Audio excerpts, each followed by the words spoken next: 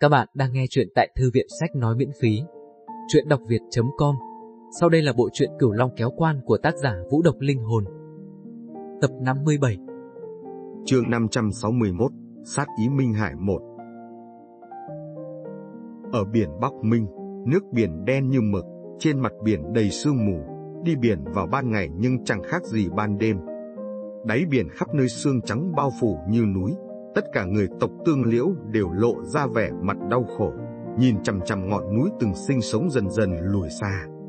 Những con rắn non chưa hóa hình người đang run rẩy liên hồi. Thủy Họa đứng ở mũi thuyền không nhúc nhích, dưới uy áp tử thần của cô, hung thú trong biển căn bản không dám tới gần.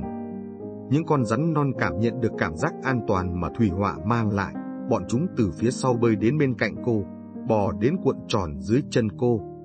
Nhìn con rắn non, sắc mặt Thủy Họa lộ ra một chút dịu dàng, ngồi xổm xuống, hướng về phía một con rắn non trắng như tuyết mà vươn tay ra.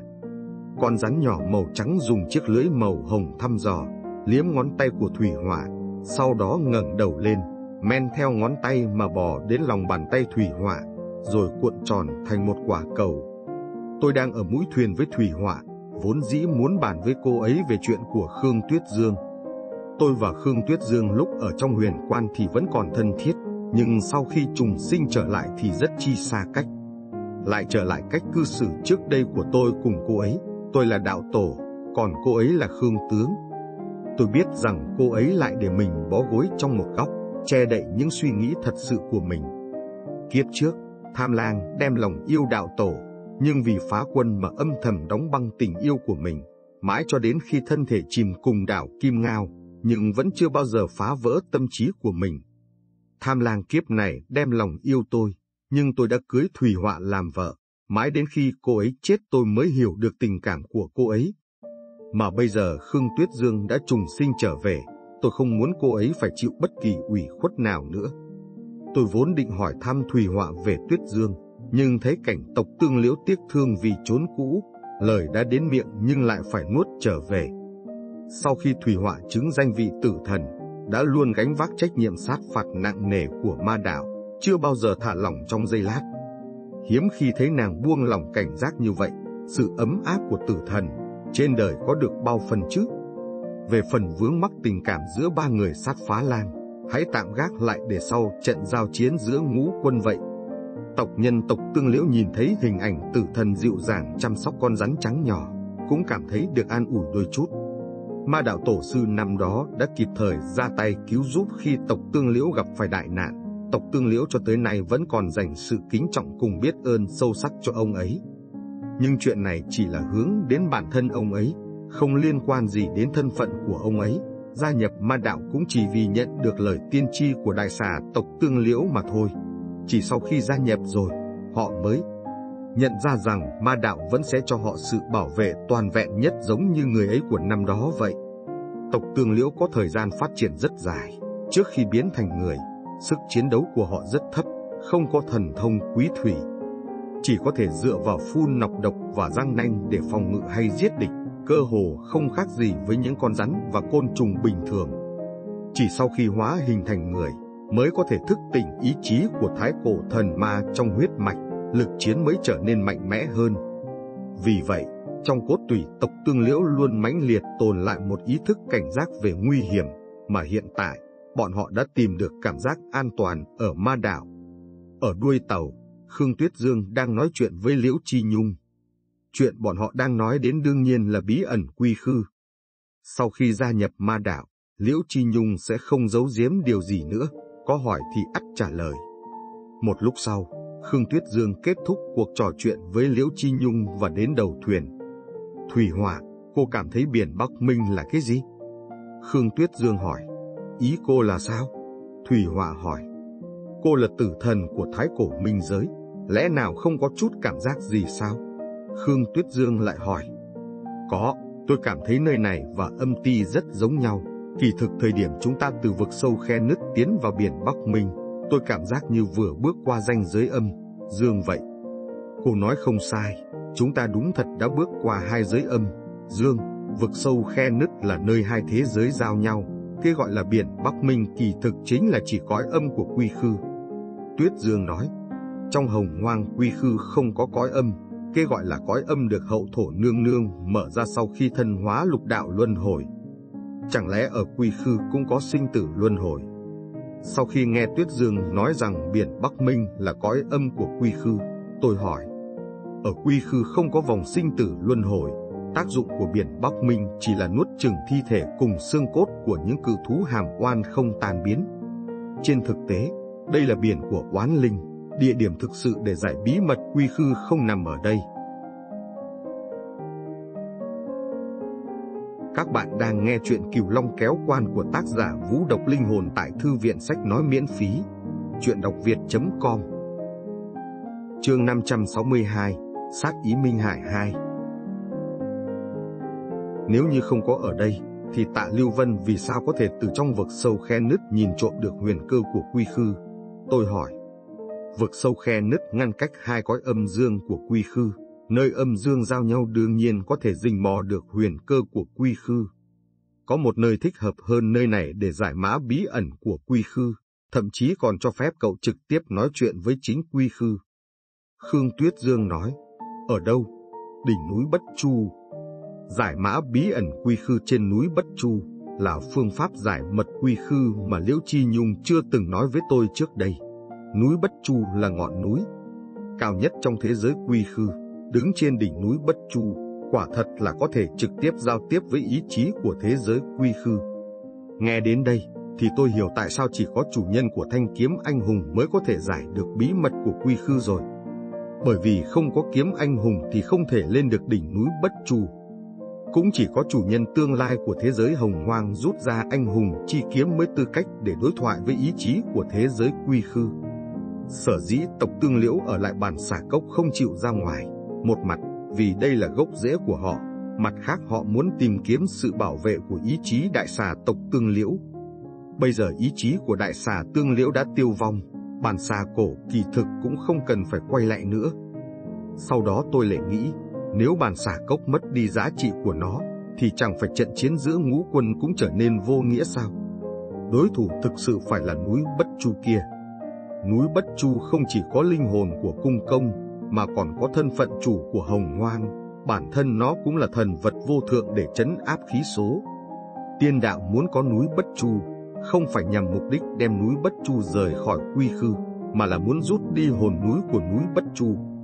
Chỉ có tiên đạo mới có thể làm được điều này, bởi vì núi Bất Chu vốn là một thứ của trời, mà tiên đạo giờ đây đang kiểm soát thiên đình. Việc này rất khó thực hiện, bởi vì chúng sinh hồng hoang sẽ không cho phép hồn núi của núi Bất Chu rời khỏi quy khư. So ra, thì việc lấy đi linh hồn cung công của nhân đạo thì còn dễ dàng hơn. Bởi vì chúng sinh hồng hoang đều coi cung công là kẻ thù không đội trời chung. Điều này phải xem nhân đạo có thủ đoạn để xóa bỏ thần thức của cung công, rồi rút ra toàn bộ ý chí của ông ta hay không. Tuyết Dương, nếu nói như vậy, trận chiến núi Bắc Minh chẳng phải là không cần thiết sao? Nghĩ tới đây, tôi quay đầu lại hỏi Khương Tuyết Dương. Đương nhiên là phải đánh, không chỉ là đánh, còn phải quyết đoán khai trận, ra tay trước quấy đục chiến cục nữa. Âm thanh của Khương Tuyết Dương không nhanh không chậm, vang dội có lực, dáng vẻ bình tĩnh trầm ổn vẫn như ngày xưa lúc ở đại quân ma đạo bảy bình bố trận vậy. Lý do rất đơn giản. Trong trận quyết chiến ở núi Bắc Minh, Hiên Viên Đế, Bạch Đế, thiếu nữ Nguyên Phượng ba bên đều tâm niệm về bí ẩn quy khư ở bản xà cốc. Nếu như đặt chiến trường ở núi Bất Chu, thanh anh hùng chi kiếm trong tay anh là ngòi kích nổ lớn nhất, đến lúc đó, toàn bộ sức chiến đấu của hồng hoang quy khư sẽ đều vì anh mà đến. Thủy Hỏa tiếp lời, Thủy Hỏa nói đúng, không chỉ như vậy, nếu quả thực muốn khai chiến ở núi Bất Chu, ai có thể đảm bảo liên minh đạo môn vẫn vững như khối sắt chứ? Nếu như liên minh tàn rã, chỉ bằng ma đạo chúng ta làm sao đối phó được sự thảo phạt của nhân tộc cùng thú tộc hồng hoang chứ? Khương Tuyết Dương nói, luận, chinh chiến sát phạt, tôi không bằng thủy họa, bảy mưu tính kế lại không bằng Tuyết Dương, ma đạo tổ sư tôi đây non có chút vô dụng. Nghĩ đến đây, tôi không còn vương vấn những suy nghĩ chập chờn đó nữa mà tập trung nghĩ cách ứng phó với trận đại chiến trước mắt. Thuyền linh đinh trên biển nửa ngày, một bóng oán linh hải thú cũng không thấy, có lẽ đều bị uy áp tử thần của Thùy Họa dọa cho chạy mất. gió yên biển lặng, chúng tôi nói về bí ẩn mà tạ Lưu Vân đã suy ra từ vực thẳm khe nứt. Ngày hôm đó, tạ Lưu Vân đã sử dụng thanh kiếm lục nhậm âm dương để do thám huyền cơ của Quy Khư. Suy đoán rằng Quy Khư có thể là một con côn, rồi sau đó tôi đã xác nhận điều này thông qua lời nói của Liễu Chi Nhung. Chỉ là tôi nghĩ không thông, một con vật khổng lồ như vậy lại chưa từng có người thấy qua, vậy phải giải thích thế nào đây? Bắc Minh trong tiêu diêu du là chỉ vùng biển vô tận, không phải chỉ biển Bắc Minh nơi đây. Biển vô tận rộng lớn, không có ai nhìn thấy nó là điều bình thường. Khương Tuyết Dương nói, ngay cả khi không ai ở nhân gian có cơ duyên nhìn thấy nó, thì một con vật khổng lồ như vậy cũng không thể che giấu được tai mắt của thiên giới. Hơn nữa, nó còn nuốt lấy nước biển trong thiên hạ, ngưng tụ khí quý thủy trong thiên hạ. Vật khổng lồ như vậy một khi có hình dạng, thì không thể qua mắt thiên đình được. Thủy Họa nói, cô nói rất có lý, xem ra thứ này cũng là một bộ phận thuộc bí ẩn quy khư, chờ tạ Lan giải được bí ẩn quy khư, chúng ta mới biết được đáp án. Không hay rồi, đang cuộc trò chuyện, Khương Tuyết Dương đột nhiên ngừng nói, có một cỗ sóng lớn quỷ dị hướng về phía chúng tôi mà xông tới. Cơn sóng lớn ập đến đột ngột, với tốc độ nhanh và dữ dội như vậy, Khương Tuyết Dương vội vàng niệm thần chú cự phong, triệu hồi một cơn gió lốc mạnh mẽ, trực diện chặn đứng cơn sóng lớn. Sóng gió giao nhau, màn nước vỡ tung tóe, nước biển xung quanh trồi lên ngụp xuống không ngừng, khiến tộc nhân tương liễu trong thuyền chở quân hoảng hốt không thôi. Khi những con sóng khổng lồ lắng xuống, luồng sát ý vô tận đột nhiên xuất hiện trong màn sương mù phía trước. Một con cá mập hồng hoang dài hàng nghìn trượng đang lao về phía chúng tôi. Các bạn đang nghe chuyện Cửu Long kéo quan của tác giả Vũ Độc Linh Hồn tại Thư viện Sách Nói miễn phí. Chuyện đọc việt.com Chương 563 Lời nói ra kinh người một Con cá mập xương chỉ lộ ra một đường vây trắng như tuyết trên mặt biển, giống như một lưới kiếm sắc bén khổng lồ, xuyên qua màn sương mù dày đặc, cắt ngang mặt biển như tia chớp đang lao về phía chúng tôi. Nhìn vào sát ý của nó, sức chiến đấu chắc phải ở cảnh giới thiên tôn. Dù còn cách chúng tôi cả trăm trượng, nhưng đã bị làn gió tanh tưởi phả vào mặt, làm vạt áo bay lên phần phật. Mái tóc bạc trắng của Thủy Họa tung bay như những chiếc đinh cắm vào mũi thuyền. Tuyết Dương dường như không chịu bất kỳ trọng lượng nào, vạn trượng gió. Tanh đều vòng khỏi người của cô ấy. Để anh. Thấy thùy Họa rút ra hồn chi bi thương, tôi nói. thùy Họa quay đầu nhìn tôi một cái, Ánh lửa màu lam trong mắt nhảy múa chập chờn, môi hơi hé mở, nói, được. Nhìn thấy con cá mập xương tiến đến càng ngày càng gần, Tuyết Dương truyền một luồng gió chúc phúc vào cơ thể tôi. Đọc, hảo phong bằng tá lực, tống ngã thượng thanh vân.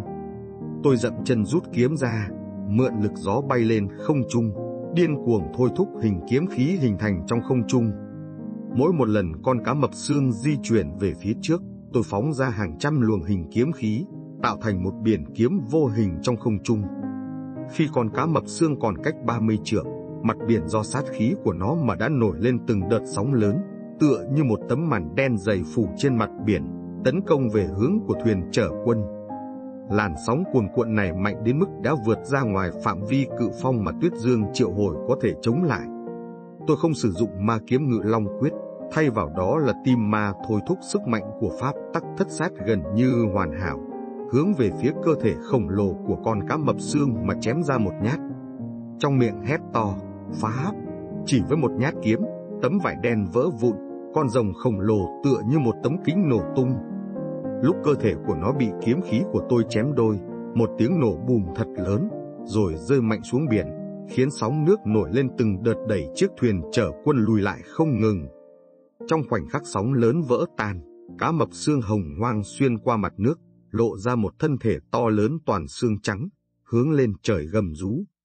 Miệng cá mập chẳng chịt những chiếc răng sắc nhọn, miệng nó rộng vô cùng, một lần mở miệng có thể xé xác cả bảy con chiếc thuyền chở quân của chúng tôi. Một vật khổng lồ như con cá mập xương này tồn tại chỉ để giết chóc, ngoài giết chóc thì cũng không còn gì khác. Với một tiếng gầm, sát khí bay lên tận trời xanh. Cũng vào lúc này, biển kiếm của tôi chút xuống, khi hai vật va chạm, xương đen tản ra, mặt biển chấn động, ban đầu thì yên lặng, nhưng sau đó vang dội kịch liệt. Hình kiếm khí xuyên thủng vòng phong tỏa sát khí của cá mập xương, tất cả chìm vào trong nước, biến mặt nước phía dưới trở thành một biển kiếm đúng nghĩa. Tình huống này có phần giống với khi ấy kiếm tiên Lữ Thuần Dương xuất hiện, nhưng lại cũng khá khác biệt. Thứ mà Lữ Thuần Dương tu luyện là thần kiếm, thần kiếm điều điều, lay động bát hoang tràng tứ cực. Uy lực cực kỳ mạnh mẽ, khi được thi triển ở khoảng cách xa, thì như nghe thấy tiếng sấm ở một nơi yên tĩnh vậy. Nhưng kiếm khí ma kiếm của tôi thuộc dạng bộc phát cận chiến, kiếm khí trào dâng tung hoành khắp trời đất, một khi kích phát thì không thể thu hồi lại. Mạnh ở chỗ kiên cường tiến lên mà không lùi, điên cuồng, hung dữ lại anh dũng, bất khả chiến bại. Vì vậy, kiếm khí của Lữ Thuần Dương khi chìm xuống biển vẫn có thể giữ lại một chút tĩnh lặng rồi mới bộc phát, trong khi kiếm khí ma kiếm của tôi chìm vào dòng nước biển, thì lập tức bùng phát, giống như ném viên băng vào vạc dầu sôi vậy. Nước biển Bắc Minh đen như mực, đột nhiên nổ tung, còn chưa kịp hình thành tia nước đã bị kiếm khí trong biển kiếm nghiền nát, trực tiếp hóa thành một làn khói đen. Sương đen bốc hơi, không thấy rõ đáy, chỉ nghe cá mập xương đang điên cuồng gầm thét trong biển kiếm. Trong biển kiếm, hình kiếm khí của tôi đang điên cuồng hủy diệt thân thể xương trắng của nó. Cũng không biết trôi qua bao lâu, tiếng gầm của cá mập xương dần dần biến mất, tôi từ trên không trung đáp xuống. Xuyên qua màn khói đen dày đặc, nhẹ chân dẫm lên mặt nước, thử cảm nhận xem có còn sót lại tia thần thức nào không. Lúc đầu không có dấu vết, nhưng ngay khi tôi đang vui sướng trước sức mạnh biển kiếm của mình, liền nghe thấy Thủy Họa kêu lên, tạ Lan, cẩn thận. Ngay khi Thủy Họa cất tiếng, nước dưới chân tôi đột nhiên bắt đầu chảy xiết, tạo thành một mắt biển khổng lồ. Tình cờ thay tôi lại ở trong trung tâm của mắt biển. Hồng hoang Quy Khư không có trợ lực, bên dưới hai chân cũng không có trợ lực, nên thân thể tôi bắt đầu ngã xuống. Ngàn vạn lần không ngờ được rằng con cá mập xương tàn bạo này còn biết tạo bẫy, dựng cho tôi một con đường chết, tôi đã đánh giá thấp sự khôn ngoan của nó. Sau đó, suy nghĩ lại, để có được sức mạnh chiến đấu cấp bậc thiên tôn thì nó đã phải tu hành ở biển Bắc Minh biết bao nhiêu năm rồi. Các bạn đang nghe chuyện Cửu Long kéo quan của tác giả Vũ Độc Linh Hồn tại Thư viện Sách Nói miễn phí. Chuyện đọc việt.com Chương 564 Lời nói ra kinh người hai Thiên tôn khó chứng, giết thiên tôn càng khó hơn là do tôi đã quá xem thường địch. Sau một lúc hoảng sợ, tôi nhanh chóng bình tĩnh trở lại, bắt đầu phóng thích hình kiếm khí một cách điên cuồng, đồng thời niệm ma kiếm ngự long quyết. Phi long tại thiên, lợi kiến đại nhân, long chiến vù dã, kỳ huyết huyền hoàn. Kháng long vô hối, thuần dương toàn thịnh, nghĩa là rồng bay trên trời, lợi khi gặp nhân vật lớn, có tầm ảnh hưởng. Rồng đánh ở đồng nội, đổ máu đen vàng. Rồng lên cao không hối hận, thuần dương thịnh vượng về mọi mặt. Nếu nó đã muốn ăn tươi nuốt sống tôi, vậy thì cứ cho nó tọa nguyện vậy, giáng xuống sáu con kiếm khí cự long, để xem nó có thể nuốt chừng chúng được hay không. Sau khi sáu con rồng bị nuốt chừng hoàn toàn bởi mắt biển do cá mập xương hóa thành, cả người của tôi vẫn ở trong trạng thái rơi xuống, nhanh chóng rơi vào mặt nước biển, rồi chìm sâu xuống dọc theo mắt biển nơi sâu trong mắt biển, không có chút âm thanh nào, sau đó thì chuyển đến tiếng rên rỉ của con cá mập xương. Tôi biết đó là sáu con kiếm khí cự long của tôi đang tàn phá bên trong cơ thể con cá mập xương. Tiếng rên rỉ của cá mập xương càng lúc càng lớn, càng thêm thảm thiết, thì tốc độ quay tròn của mắt biển cũng bắt đầu chậm lại. Để khuấy động biển Bắc Minh hình thành mắt biển thì cần một lượng thần niệm rất lớn, tình, Hình hiện tại cho thấy thần niệm của cá mập xương đang ở trạng thái tiêu hao nhanh chóng. Việc duy trì con mắt biển khiến thần niệm của nó không thể kham nổi. Quả nhiên, một lát sau, con cá mập xương phát ra một tiếng kêu kinh khủng, sau đó lao ra từ chỗ sâu nhất trong mắt biển. Trên phần sọ khổng lồ của con cá mập xương, hai con mắt quán linh phát ra u quang đã bị kiếm khí cự long làm cho mù lòa. Cơn đau dữ dội khiến nó nhất thời hỗn loạn, không cách nào nắm bắt được khí tức của tôi. Tôi nhẹ nhàng thi triển thân pháp đã có thể tránh được răng nanh sắc nhọn, đạp lên đỉnh đầu của nó, để nó đưa tôi ra khỏi biển sâu. cơ thể của con cá mập xương dài ngàn trượng. Sau khi sáu con kiếm khí cự long chui vào trong miệng nó, chúng lao thẳng xuống, điên cuồng hoành hành bên trong cơ thể xương trắng của nó. Đứng trên đỉnh hộp sọ của con cá mập xương, vẫn có thể cảm nhận được nó đang run lên vì đau đớn dữ dội. Đồng thời cũng cảm nhận được tiếng xương gãy dày đặc phát ra từ cơ thể ẩn trong khối nước biển của nó. Đợi khi cá mập xương quay trở lại mặt biển, chỉ còn lại một cái đầu lâu cực lớn cùng một chút thần niệm ít ỏi còn sót lại. Thân thể khổng lồ dài hàng ngàn trượng xương trắng của nó đã bị nghiền nát thành từng mảnh. Tôi cắm thanh kiếm anh hùng vào giữa hộp sọ, xóa sạch lượng thần niệm còn lại của con cá mập xương. Sau đó dậm chân thật mạnh để mượn sức, quay trở lại đầu con thuyền trước ánh mắt kinh ngạc cùng ngưỡng mộ của tộc nhân tộc tương liễu. Trận chiến này là trận thống khoái nhất kể từ khi tôi vào quy khư. Cho thấy rằng tôi đã có đầy đủ sức mạnh chiến đấu của thiên tôn, sự kết hợp hoàn hảo giữa biển kiếm, lục long, tim ma thất sát cùng với sự điên cuồng của ma kiếm. Tôi biết được từ Thủy Họa rằng A Lê và Kiêm Hà cũng sở hữu chiến lực của thiên tôn.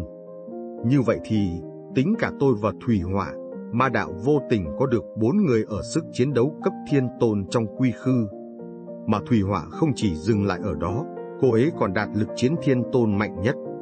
Còn A Lê, đợi sau khi tôi phong thần cho cô bé, thì sức chiến đấu của cô bé nhất định sẽ còn được nâng cao hơn nữa.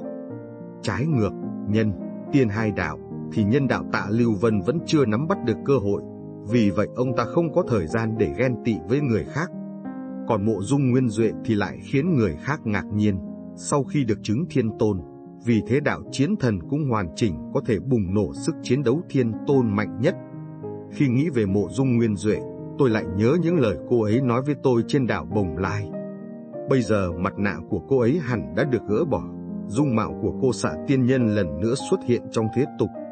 Nhưng tôi không biết giờ đây cô ấy có nhẫn tâm giết tôi hay không, cũng không biết liệu cô ấy có cắt đứt dây hôn nhân trên đá tam sinh hay không. Có lẽ cô ấy sẽ không làm gì tôi khi còn trong quy khư, nhưng khi chúng tôi trở lại nhân gian, thì sẽ không có cách nào để chúng tôi chung sống hòa bình nữa. Tạ Lan, anh không chứng thiên tôn, cũng đã có lực chiến thiên tôn, đợi khi anh thăng tiến lên thiên tôn thì sẽ càng kinh ngạc hơn. Trong giọng điệu Thủy Hỏa mang theo tia kiêu ngạo của một người phụ nữ đã có gia đình, còn kém xa so với uy lực của tử thần thái cổ minh giới. Tôi cười nhẹ nói, Thủy Hỏa có lợi hại đến đâu, thì cô ấy không phải vẫn là vợ của cậu sao? Khương Tuyết Dương nói xong liền nở nụ cười, đẹp không thể tả. Tôi là thê tử của anh ấy, vậy cô lại là gì đây? Thủy Hỏa trịnh trọng hỏi Khương Tuyết Dương, vừa là thầy vừa là bạn, có thể xem như người thân vậy. Khương Tuyết Dương hơi giật mình nói, chỉ là người thân thôi sao? Thủy Họa truy hỏi cô ấy. Khương Tuyết Dương không để ý đến lời trêu chọc của cô, quay người đi về phía đuôi tàu. Nhìn theo bóng lưng của cô ấy, tôi thầm thở dài trong lòng, có vài lời vẫn là chưa nói được. Khương Tuyết Dương ở trong huyền quan là dùng tình cảm của thần hồn mà chung sống với tôi, nên không kìm nén được cảm xúc.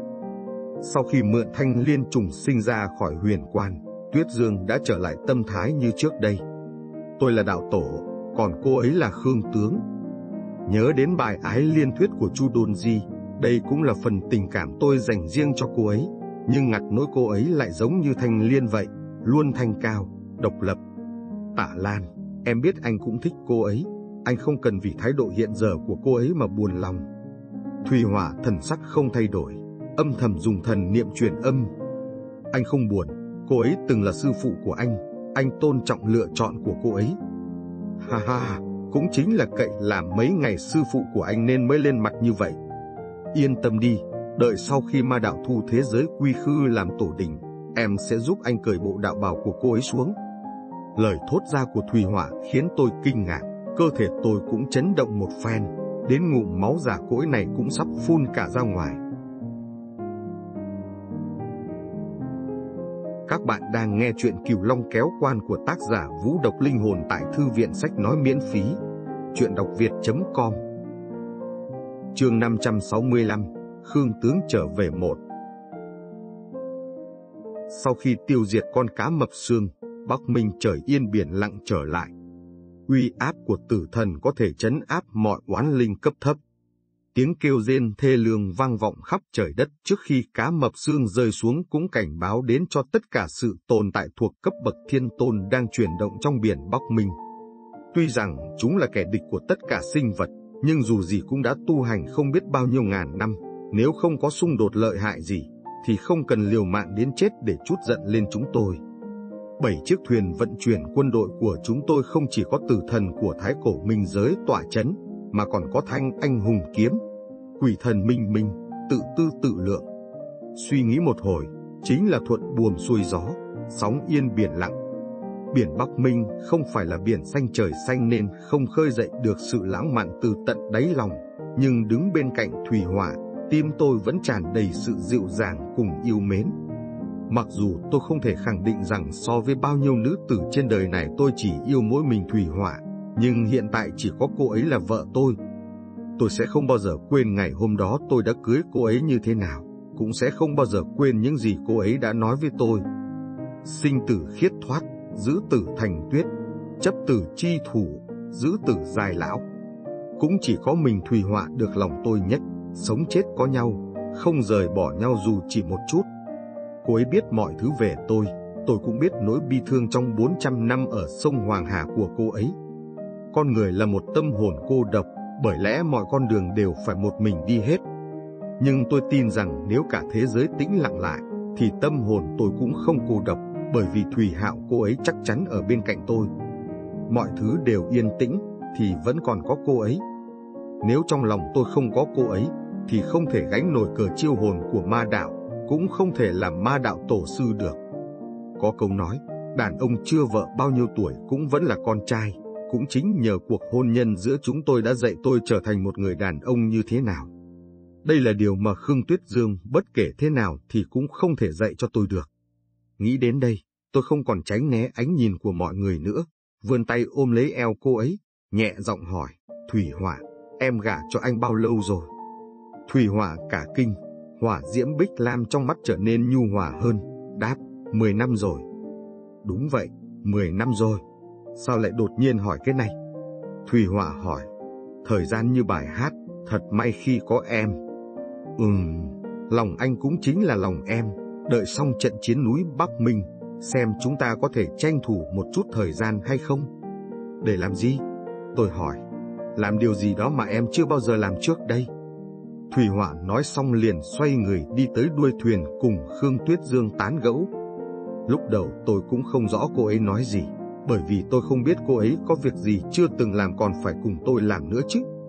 Sau khi suy nghĩ một lúc ở đầu thuyền, tôi chợt nhận ra ý nghĩa trong lời nói của cô ấy. Thân là tử thần của Thái Cổ Minh Giới, với chiến lực của thiên tôn mạnh nhất, cô ấy có thể dễ dàng làm được nhiều việc mà người khác không làm được. Chỉ có một việc mà cô ấy chưa bao giờ làm, còn nhất định phải kéo tôi làm cùng. Hai ngày sau, chúng tôi thành công vượt qua vách đá mạn bắc của núi Bắc Minh và đổ bộ vào một bãi cạn ở chân núi phía tây núi Bắc Minh. Sau khi lên bờ nghỉ ngơi một lúc, chúng tôi tiến về doanh trại của Liên minh Đạo Môn. Tam tinh sát phá lang dẫn đầu, theo sau là bảy ngàn tộc nhân tương. Liễu, trong tộc tương liễu, có hàng chục người với lực chiến nửa bước thiên tôn. Với sự tham gia của họ, sức chiến đấu của ma đạo chúng tôi ở Quy Khư đã đủ để đối kháng lại nhân, tiên hai đạo rồi. Sắc mặt của tạ Lưu Vân thậm chí còn khổ não hơn, biểu cảm của mộ dung nguyên duệ sau khi gỡ bỏ mặt nạ cũng không tốt hơn là bao. Tôi có thể hiểu được tâm tình của bọn họ, khi ma đạo đến chỉ có 7 người, nhưng hiện tại đại quân đã có gần 12 vạn người. Nửa bước thiên tôn cộng lại thì gần trăm người, còn có bốn vị chiến lực cấp bậc thiên tôn, trong đó Thùy Họa còn là thiên tôn mạnh nhất nữa. Trái ngược với hai nhà bọn họ, mất nhiều hơn được. Tiên đạo đỡ hơn một chút, ít nhất vẫn có mộ dung nguyên duệ, đã ngưng tụ ra phân thần tiên thiên ất mộc, sở hữu đạo chiến thần hoàn chỉnh. Nhân đạo có thể được xem như thê thảm nhất, thậm chí bà, năm thanh tả kiếm mà thiên sư trương đạo lăng để lại cũng bị gãy đi một thanh. Trong lòng hai người này đều chua xót nhưng đệ tử ma đạo của tôi thì lại hưng phấn không thôi, đặc biệt là A Lê. Khi cô bé nhìn thấy Khương Tuyết Dương trùng sinh trở về, nước mắt rơi như mưa vậy. Cô bé gục đầu vào vòng tay của Tuyết Dương, bật khóc nức nở. Đến cả Ngạo Phong đứng bên nhìn cũng phải bó tay chịu trận.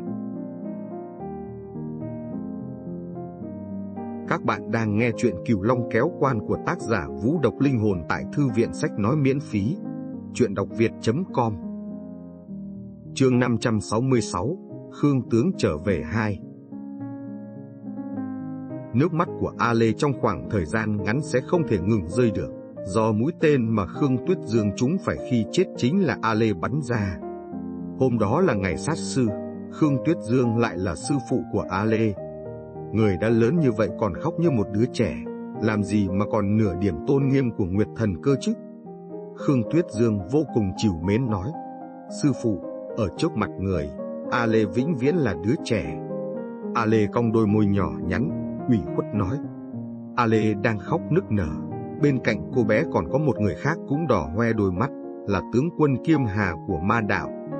Về chuyện xảy ra với Kiêm Hà, trước đó Thùy Họa không nói gì với tôi, vì vậy tôi không biết tại sao mắt Kiêm Hà lại đỏ lên khi cô ấy nhìn thấy tôi. Sự trở về của chúng tôi đã nâng cao sĩ khí của ma đạo, khoảng thời gian tiếp theo đây, với danh nghĩa của đạo tổ.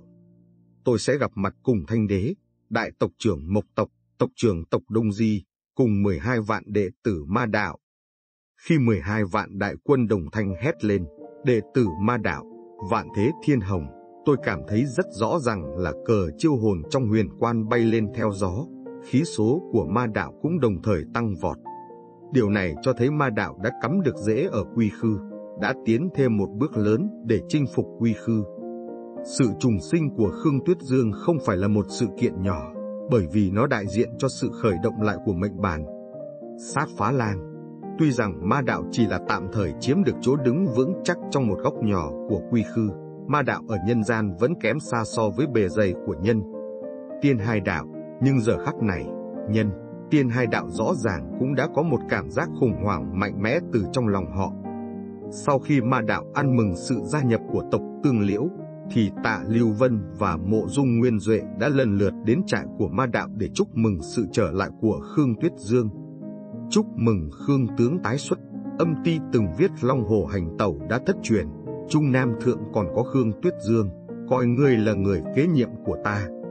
Bây giờ Khương tướng lại dựa vào cơ thể của Thanh Liên mà trùng sinh, luận về tu vi và trí tuệ, đã không còn thua kém ta nữa, sau này không thể nhắc đến những lời này nữa. Tạ Lưu Vân vô cùng cảm khái nói, ha ha, làm sao có thể so sánh với Lưu Vân Sư Huynh chỉ dựa vào thanh kiếm lục nhậm âm dương đã có thể dò xét thiên cơ được. Khương Tuyết Dương cười nói, chúc mừng Khương tướng tái xuất. Mộ Dung Nguyên Duệ ăn nói không giỏi bằng tạ Lưu Vân, nói xong một câu, liền tùy ý liếc nhìn tôi một cái. Dung mạo của mộ Dung Nguyên Duệ lần nữa lộ diện, so với trước kia thì còn đẹp hơn vài phần, hóa ra là nhờ tư chất thần tiên, bây giờ vẻ mặt lại có thêm phần uy nghiêm của thánh thần.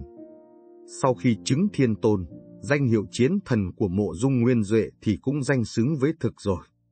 Tạ Lưu Vân và mộ dung nguyên duệ đến thăm Khương Tuyết Dương không chỉ để chúc mừng đơn giản như vậy, mấu chốt là để hỏi về chiến cục ở núi Bắc Minh. Việc tộc tương liễu đột ngột rút lui khỏi bàn xà cốc vào thời điểm này đã khiến họ dấy lên nghi ngờ, đặc biệt là tạ Lưu Vân bởi vì ông ta biết về sự tồn tại của vực sâu khe nứt, còn ở đâu đó khám phá được một số huyền cơ quy khư. Chúng tôi sẽ không nói ra việc giải mã bí mật của quy khư không nằm ở bản xà cốc, nếu nói ra, thì liên minh đạo môn nhất định sẽ lục đục. Về việc tại sao tộc Tương Liễu lại từ bỏ bản xà cốc, thì Khương Tuyết Dương giải thích rằng điều đó là cần thiết cho chiến cục hiện tại, vì vậy họ mới tạm thời rời đi, không ai nói thêm lời nào bản xà cốc bị bạch đế, hiền viên đế cùng thiếu nữ nguyên phượng ba bên bao vây lại, không ai được phép đi xa hơn. Không chỉ các lực lượng liên quân đạo môn không biết chuyện gì đã xảy ra bên trong bản xà cốc mà ngay cả họ cũng không biết. Cũng chính vì điều này mà trận chiến của năm đạo quân ở núi Bắc Minh vẫn còn cơ hội lần nữa đốt cháy ngọn lửa chiến tranh. Nếu để họ biết rằng nơi giải mã bí mật không phải ở bản xà cốc, thì quân đội sẽ rút lui ngay lập tức sau đó tập hợp lại và tiến đến núi Bất Chu. Khương tướng đã trở lại, sát phá lang tam phương tứ chính, đồng tâm hiệp lực, ắt hẳn đã tìm ra cách để phá vỡ quân tình ở núi Bắc Minh. Trận chiến của năm đội quân không nên bắt đầu một cách nhẹ nhàng, không biết Khương tướng có kế hoạch gì. Tạ Lưu Vân hỏi, tiên pháp chế nhân, khắc địch tiên cơ. nghĩa là đánh trận phủ đầu là cơ hội tốt để đánh bại kẻ địch. Khương Tuyết Dương trầm giọng đáp.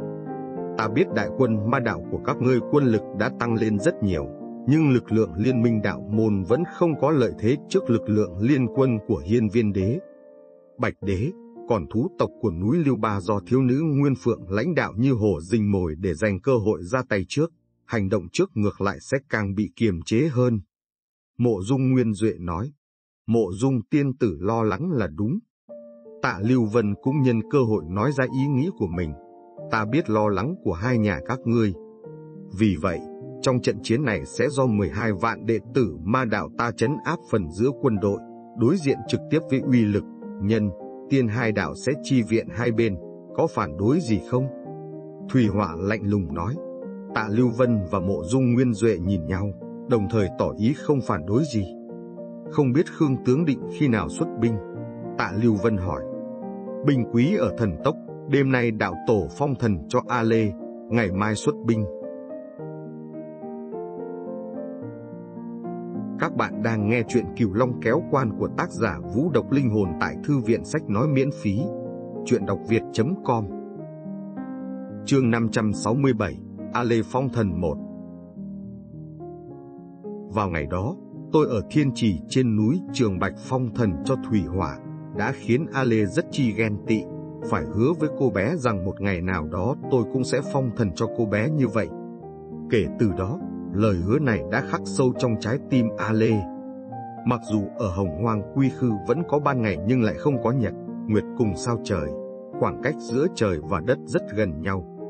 Trong đêm sâu thẳm, tôi một tay cầm thanh anh hùng kiếm bước lên tế đàn. So với thần đàn phong thần của Thủy Hỏa, thì kiếp của A Lê lại đơn giản hơn rất nhiều. Điểm long trọng của ngày đó là nằm ở chỗ nó ở nhân gian.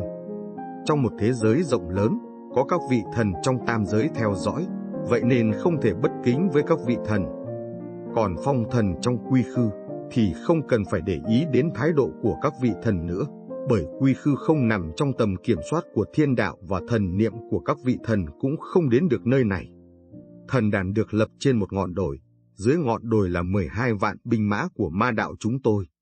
Đại quân chỉnh tề, sĩ khí dâng cao. Ở ngoại vi, 60 vạn binh mã của nhân, tiên hai đạo cũng vây lấy theo dõi. Phong thần là chuyện hiếm có từ xưa nay, không phải ai cũng có tư cách được phong thần, cũng không phải ai cũng có tư cách phong thần cho người khác. A Lê đã sớm chuẩn bị xong, đầu đội vương miện nguyệt thần, thành vũ giáp trên người sớm đã được thay thế bằng nguyệt bố trường bảo Dung mạo tuy rằng vẫn còn mang chút thiếu nữ trẻ tuổi, nhưng thần sắc lại thần thánh mà trang. Nghiêm, ngạo phong bên cạnh A Lê có vẻ hơi căng thẳng, sau khi A Lê phong thần. Rất có thể sẽ vì thần vị của mình mà tính tình có sự thay đổi lớn có thể sẽ tràn đầy thần uy khiến người khác khó mà lại gần được. Ví dụ như Thủy Họa sau khi được tôi phong là tử thần, nếu cô ấy không kiềm chế thần uy của mình thì sẽ không ai có thể đến gần cô ấy trong bán kính năm thước trở lại. Bởi đây là lãnh địa của thần, tiến vào mà không có sự cho phép là báng bổ sự uy nghiêm của thần. Khi bái tượng thần trong các đạo quán, khách hành hương đều đứng cách xa năm thước. Nếu lại quá gần thì không những không được thần linh che chở mà còn gặp phải tai họa. Đứng trên thần đàn, tôi nhìn vào màn đêm của quy khư, bắt đầu chỉnh lại quần áo. Sau đó tôi xóa tóc, đi chân đất, chĩa kiếm tứ phía, miệng đọc, ngô dĩ thiên vi phụ, địa vi mẫu. Ngô cư kỳ trung, thường như xích tử, nhật vi công tào, nguyệt vi sổ chủ. Lôi công điện mẫu, tại ngô tiền hậu, phong bác vũ sư, tại ngô tả hữu. Lục giáp trực phủ châu vũ vây quanh. Thanh long cư ngô hữu bạch hổ cư ngô tả. Chu tước tại ngô tiền huyền vũ tại ngô hậu. Hoàng long chấn ngô đầu thất tinh tại ngô thủ. Ngô cư trung cửu cung thái ất vi ngô ngẫu. Hữu tam tả thất đới cửu lữ nhất. Nhị tứ vi kiên lục bát vi túc ngô cư kỳ trung. Ta là ma đạo tổ sư dạo quanh nơi đây quan sát mười cực, loại bỏ tam giới, cửu thiên cố khí, tứ trực đến tế đàn. Theo mệnh lệnh của ta, hôm nay tới đây, nay, ta phong A Lê của bộ tộc Đông Di là Nguyệt Thần, cấp cấp như luật lệnh. Sắc sắc sắc, sắc lệnh cuối cùng hoàn thành, sắc trời bắt đầu biến hóa, gió nổi lên, bốn cực hồng hoang quy khư không ngừng có thần niệm hướng tới nơi này. Ngoài ra thì không còn động tĩnh gì khác, trời đã sập tối, màn đêm đen kịt. Cờ chiêu hồn bên trong huyền quan cũng không có bất kỳ phản hồi nào. Điều này khiến tôi vô cùng hoang mang. A Lê đã ngưng tụ được thần cách của thái cổ thần ma, lực chiến cũng đã đạt đến cảnh giới thiên tôn. Lại từng được rửa tội ở hồ mặt trăng của bộ tộc Đông Di, đáng lý sẽ không thể thất bại trong việc phong thần mới phải chứ. Trừ khi, ý chí của thế giới quy khư không cho phép A Lê phong thần ở đây. Mặc dù thái cổ thần ma rất mạnh mẽ, nhưng cuối cùng họ cũng bị thiên đạo diệt sạch từng người một.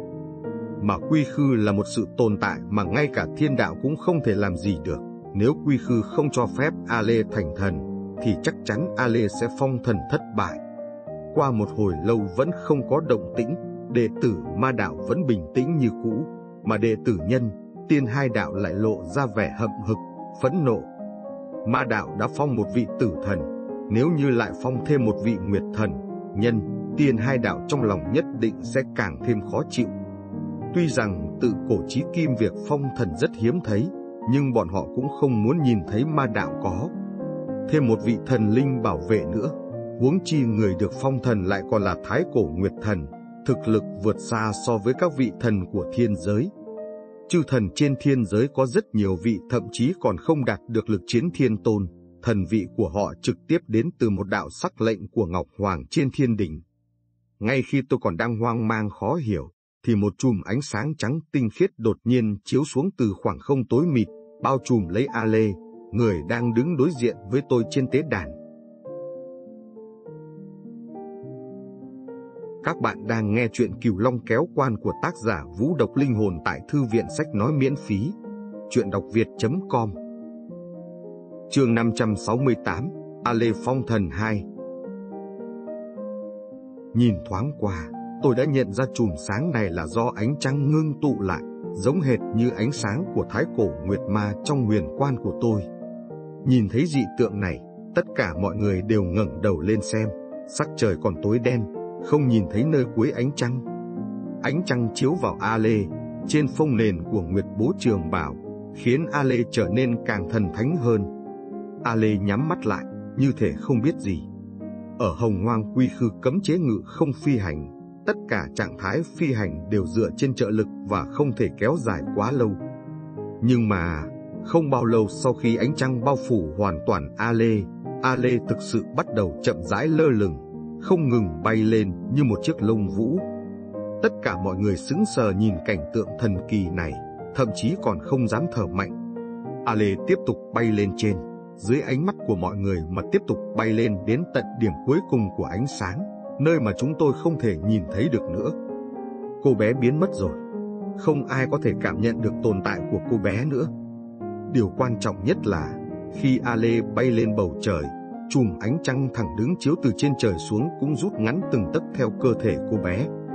Đến cuối thì cùng biến mất với cơ thể của cô bé, bầu trời lại quay về màn đêm tối vốn có. Ngạo Phong mở to mắt, khi không còn cảm nhận được sự tồn tại của A Lê nữa, cậu không kìm được mà rơi nước mắt. Không ai rõ chuyện gì đang xảy ra.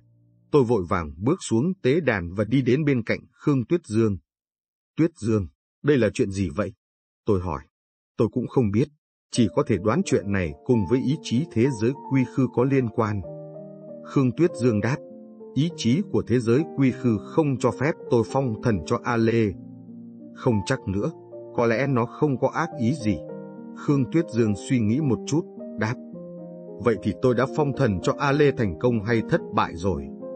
Cái này không thể giải thích được, cậu cứ kiên nhẫn chờ đi, nếu như thành công, cờ chiêu hồn nhất định sẽ nhanh chóng cho cậu biết thôi. Mọi người đang chờ đợi, ma đạo đang chờ A Lê trở về, nhân, tiên hai đạo thì đang chờ xem trò cười của ma đạo tôi.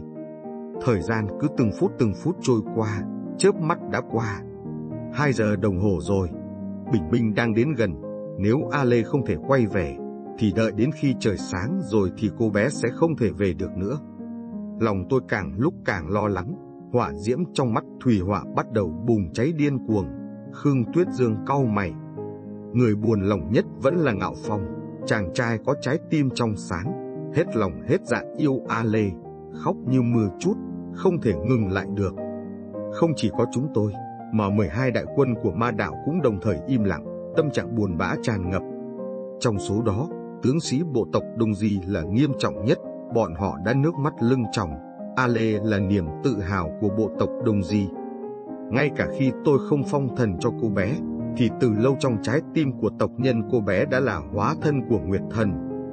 Tôi có chút hối hận khi phong thần cho A Lê rồi, nhưng ai lại có thể ngờ rằng điều như vậy sẽ xảy ra chứ?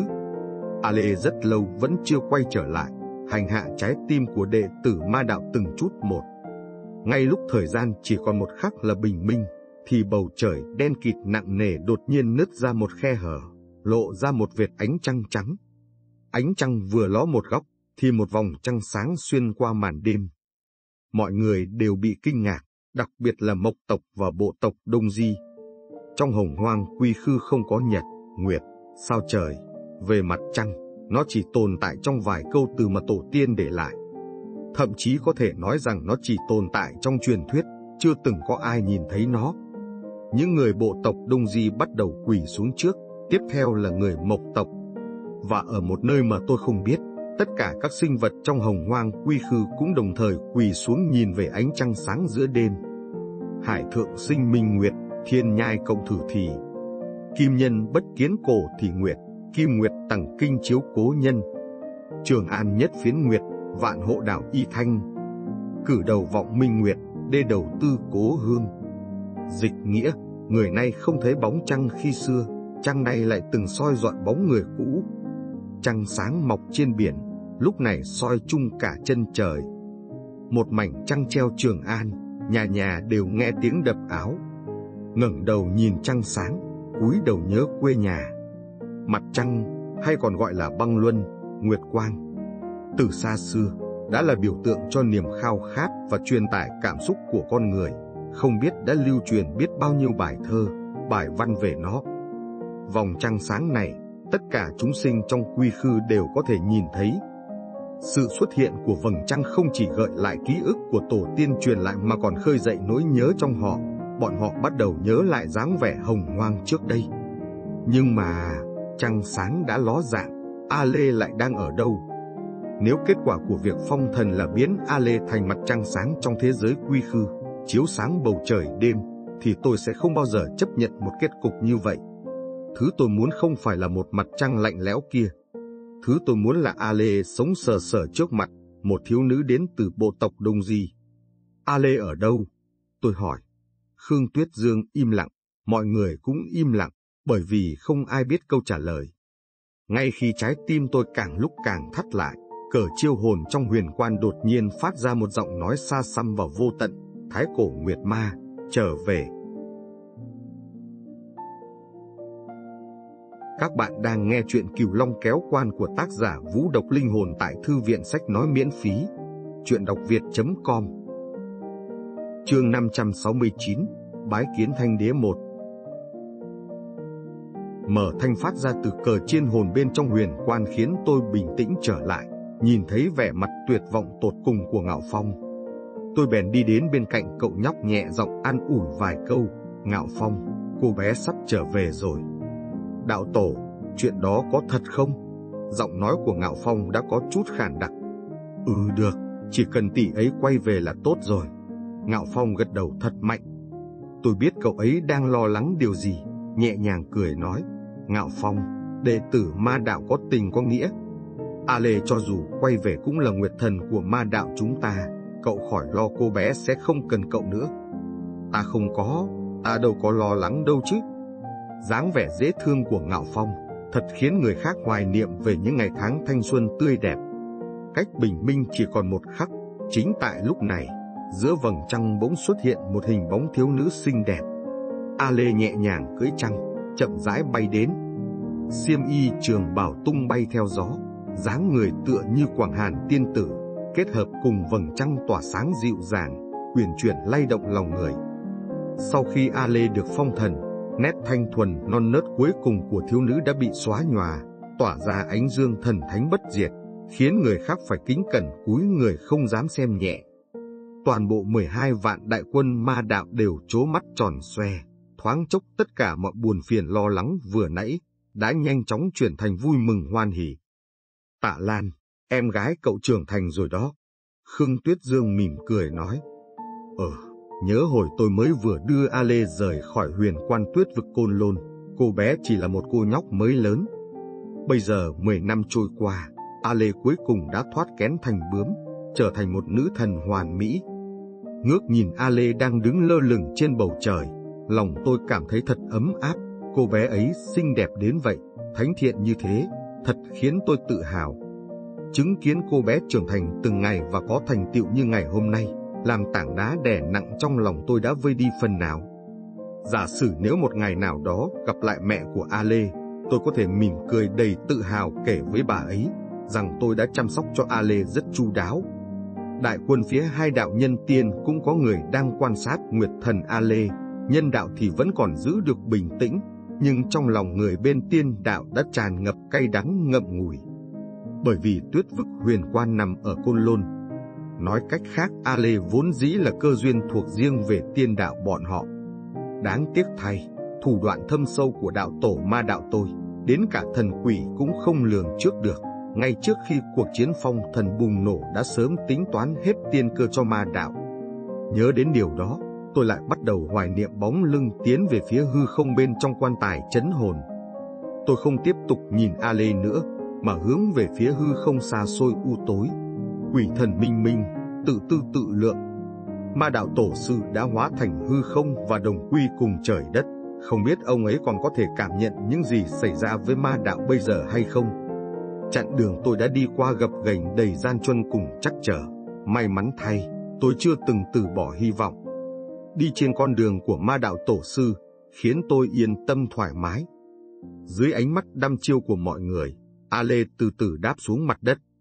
Cô bé đội mũ quan của Nguyệt Thần, dung mạo tuyệt mỹ tách rời khỏi trần tục, mịn màng như ngọc trai, tản ra khí tức thần thánh trang nghiêm. Người của bộ tộc Đông Di toàn bộ đều kính cẩn quỳ xuống, đôi mắt họ đẫm lệ, đồng thanh hét gọi tên của Nguyệt Thần. Tiếp đó người của Mộc tộc cũng quỳ xuống, chỉ còn mỗi mình Thanh Đế đứng yên tại chỗ. Gương mặt giả nua của ông ấy đã rưng rưng nước mắt vì xúc động. Thần chi quy khư hồng hoang sớm đã trở thành truyền thuyết, mà ngay lúc này đây họ đang tận mắt chứng kiến một vị thần minh ra đời. Trong ngàn năm trải dài vô tận, bóng đêm tại quy khư hồng hoang không hề nhìn thấy vầng trăng hay vì sao, mà hôm nay. Bởi vì sự ra đời của Nguyệt Thần A Lê, trên bầu trời đã xuất hiện thêm một vầng trăng sáng chói chiếu rọi khắp màn đêm. Vầng trăng không biết đã khơi gợi nỗi nhớ quê hương của bao nhiêu người, trong tương lai cũng không biết sẽ được gửi gắm bao nhiêu tâm tư tình cảm. Đêm này không một ai suy nghĩ về bí ẩn của quy khư, hay lo âu về cuộc chiến ngũ quân, quy khư hồng hoang đêm nay, chỉ thuộc về một mình A Lê. A Lê đáp đất an toàn, thì đi đến chỗ tôi đầu tiên, dõng dạc nói, Nguyệt thần A Lê, bái kiến ma đạo tổ sư. A Lê, nhóc đã trưởng thành rồi, ta thật sự rất hạnh phúc. Vậy từ nay về sau còn có thể gọi huynh là tạ Lan ca ca nữa không? Trong lòng ta, nhóc mãi mãi là em gái của ta mà. Trò chuyện với tôi xong, A Lê hướng về phía 12 vạn đại quân ma đạo, dùng thần niệm truyền âm, vang đi xa khắp bốn phương tám hướng, lớn giọng nói, đệ tử ma đạo, vạn thế thiên hồng. Đây chính là thái độ của A Lê, bất luận cô bé có là ai đi chăng nữa, cô bé vẫn khắc ghi thân phận đệ tử ma đạo của mình. 12 vạn đại quân ma đạo đồng thanh đáp lời cô bé, cờ chiêu hồn chứng giám vận mệnh ma đạo đã bành trướng hơn trước. Sau đó, A Lê hành lễ với Khương Tuyết Dương, cảm tạ công ơn dạy dỗ của ân sư. Sau khi phong thần, A Lê không thể tiếp tục gọi Khương. Tuyết Dương là sư phụ nữa, bởi vì không một ai có tư cách trở thành sư phụ của cô bé. Cô bé ngưng tụ thần cách của Thái Cổ Nguyệt Ma, thần vị được tôi tấn phong chính là Nguyệt Thần. Các bạn đang nghe chuyện Cửu Long kéo quan của tác giả Vũ Độc Linh Hồn tại Thư viện Sách Nói miễn phí. Chuyện đọc việt.com Chương 570 Bái kiến Thanh Đế 2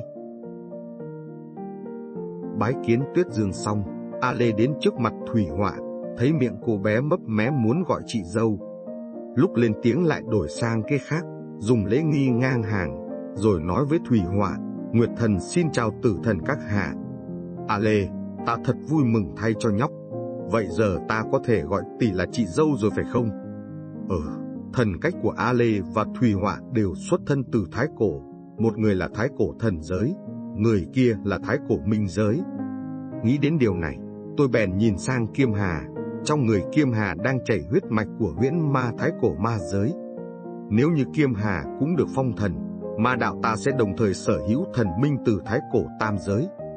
Nhưng mà con đường phong thần của Kiêm Hà khá gian nan, bởi vì thần ma đối địch với Kiêm Hà thì hóa thành ma dễ dàng hơn phong thần rất nhiều.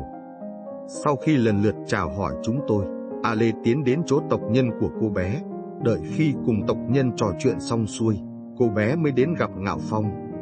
Lúc này Ngạo Phong nhìn có vẻ rất đáng thương, bởi vì người A Lê đến gặp cuối cùng chính là cậu ấy, thậm chí từ đầu đến giờ cô bé còn chẳng hề liếc nhìn cậu ấy một cái. Ngạo Phong, ừ, Ngạo Phong mở to đôi mắt tròn xoe, thâm tình nhìn A Lê. Thiên thu bắt đầu, giao cung hàn khổ, bất nhã thần tiên đạo lữ, bách niên giang hồ. A Lê nói, lễ phong thần kết thúc, hừng đông chiếu sáng ánh hồng ban mai, vầng trăng trên trời cũng theo đó dần dần lặn mất không còn bóng dáng. Thiên tượng dị thường xảy ra do lễ phong thần của A Lê đã tan biến, để lại sự chấn động không thể ngừng nghỉ trong lòng dân chúng của Quy Khư. Họ chờ đợi giây phút màn đêm buông xuống, chờ đợi thời khắc có thể nhìn thấy vầng trăng rực rỡ ấy một lần nữa.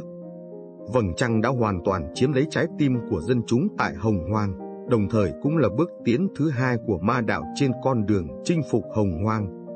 Sau khi mọi chuyện kết thúc tôi liền hỏi A Lê tình trạng lúc phong thần. A Lê nói ý chí thế giới Quy Khư đã nhúng tay vào việc này, Quy Khư cũng cảm thấy hưu quạnh. Vầng trăng này không chỉ gợi lại nỗi nhớ quê hương gia diết của dân chúng Hồng Hoang, mà cũng chính là tâm tư tình cảm của bản thân quy khư. Không thể hóa thành chim đại bàng, kiếp này cá côn mãi mãi chỉ có thể chìm sâu dưới đáy đại dương, vĩnh viễn không thể thực hiện được tham vọng bay vút lên trời cao chạm tới vầng trăng. Vì thế quy khư mới nhờ cậy A Lê, diễn hóa ra một vầng trăng để cất giữ lại trong thế giới của nó. Phong thần hoàn tất, lúc này sắc trời vẫn còn sớm. Đại quân quyết định dừng chân nghỉ ngơi tại chỗ. Thủy Họa đưa tôi đến gặp Thanh Đế. Lần này tôi quay lại khá vội vàng, vừa về đã bận rộn việc chủ tính kế hoạch giúp A Lê phong thần. Nên tôi vẫn chưa có dịp đến bái phòng hội họp cùng vị lãnh đạo mộc tộc người đã nổi danh suốt ngàn năm qua. Người này ngày xưa là nhân vật đệ nhất chiến lực hồng hoang, tôi chỉ mới nghe nói Thanh Đế từng được đạo tổ truyền pháp. Tạ Lan, trước khi gặp Thanh Đế, em muốn nói chuyện của Kiêm Hà với anh trước. Kiêm Hà có chuyện gì vậy? Nhớ lúc Kiêm Hà đỏ hoe mắt nhìn tôi, tôi lập tức hỏi. Anh cứ nghe em kể xong sẽ hiểu thôi. Tiếp theo đó, tôi nghe Thùy Họa kể mới biết Kiêm Hà đã gặp phải chuyện gì khi mới vào quy khư, cũng biết được Thùy Họa đã trải qua lần niết bàn thứ năm. Nghe xong tôi mới hiểu vì sao Kiêm Hà lại đỏ hoe mắt khi nhìn thấy tôi rồi. Thật không ngờ hiên viên đế người được xưng là vị đế vương anh minh của Hồng Hoang lại là một gã đê tiện hạ lưu đến thế. Lỡ như không nhờ A Lê dùng một mũi tên thị uy, khiến hiên viên đế thất kinh hồn vía, lỡ như không nhờ thủy họa sát phạt quyết đoán khí thế vô song. Đơn độc anh Dũng, quyết tẩy thành thủ dương, thì tôi không dám tưởng tượng kết cục của Kiêm Hà sẽ thê thảm ra sao. Tình cảm mặn nồng mà Kiêm Hà dành cho tôi, thả chết không chịu nhục khiến tôi vô cùng cảm động, mà Thủy Họa vì cô ấy mà phẫn nộ. Mặc kệ hiểm nguy dù có phải rơi vào tình cảnh niết bàn lần thứ năm, càng khiến tôi xúc động liên hồi. Mà nguyên nhân dẫn đến mọi việc, chỉ bởi vì lão già hiên viên đế, đam mê tiểu sắc, ý đồ muốn chiếm đoạt sắc đẹp của Kiêm Hà. Lửa giận trong lòng tôi như bùng nổ, người có ba điều cấm kỵ, mối thù giết cha, nỗi hận đoạt thề, nỗi đau mất con. Nếu như bất kỳ kẻ nào vi phạm đến một trong ba điều trên, đều trở thành kẻ thù không đội trời chung. Đến giờ tôi mới nghĩ thông vì sao Thủy Hỏa muốn ma đạo là đội quân chủ lực chính, không chỉ vì đánh tan mối lo ngại của hai đạo nhân tiên, còn bởi vì sự sỉ nhục mà hiên viên đế mang đến cho tôi, bắt buộc ma đạo chúng tôi phải tự tay đòi lại. Năm đó Thái tử Long Vương ở Nam Hải dám nhục mạo phá quân, cái giá phải trả cho sự ngu xuẩn đó là Long tộc ở Nam Hải bị xóa tên khỏi tam giới. Hôm nay hiên viên đế biết rõ Kiêm Hà có tình cảm với tôi, nhưng vẫn bắt cóc cô ấy về tầm cung của ông ta, không rửa sạch nỗi nhục này, đạo tâm của tôi không thể tồn tại nữa. Tôi không trách nhân đạo đứng trơ mắt nhìn Thùy Họa một mình tiến vào thành, nhân đạo tự ắt có tính toán của nhân đạo. Nhưng tôi phải cảm tạ ân tình thanh đế đã cứu Thùy Họa, ân tình này còn cao hơn cả núi sâu hơn cả biển. Nếu không nhờ thanh đế đánh liều cạn kiệt thọ nguyên kéo dài một khoảng thời gian quý báu, thì Thủy Họa không thể an toàn vượt qua kiếp nạn Niết Bàn. Nghĩ đến điều này, tôi sải bước đi. Vào giữa đoàn quân mộc tộc, khi đến trước mặt thanh đế thì tôi cúi người thật thấp, rồi dõng dạc nói với ông ấy, tạ lan bái kiến thanh đế bệ hạ. Đạo tổ xin hãy mau đứng dậy, vũ ngưỡng thiểu ta nhận không nổi đại lễ của đạo tổ đâu. Thanh đế giật mình trong giây lát, rồi vội vàng giơ tay ra đỡ. Thanh đế, ông tất nhiên có thể nhận đại lễ này của đạo tổ mà. Thủy Họa bình tĩnh nói. Vũ Ngưỡng Thiều là đệ tử ma đạo, làm gì có chuyện đệ tử nào đi nhận lễ bái lạy của tổ sư chứ? Thanh đế vội vàng nói, bởi vì ông xả thân cứu ta mà. Lâm tướng quân là tướng phá quân ma đạo, ta đã biết cô gặp nạn, tất nhiên phải liều cả tính mạng để trợ giúp rồi. Chuyện này đâu đáng để đạo tổ hành đại lễ với ta đâu. Vì ta không chỉ là tướng phá quân ma đạo, mà còn là vợ của anh ấy. Việc Thủy Họa và tôi kết hôn, chỉ có những đệ tử ma đạo ở nhân gian biết tường tận mà thôi. Chuyện này không được công bố rộng rãi ở quy khư, vì thế thanh đế đến giờ vẫn không hay biết. Chính ngọ ngày thứ hai, sau khi ba bên gửi công hàm, liên quân đạo môn bắt đầu khởi hành dẫn binh đến phía nam núi Bắc Minh.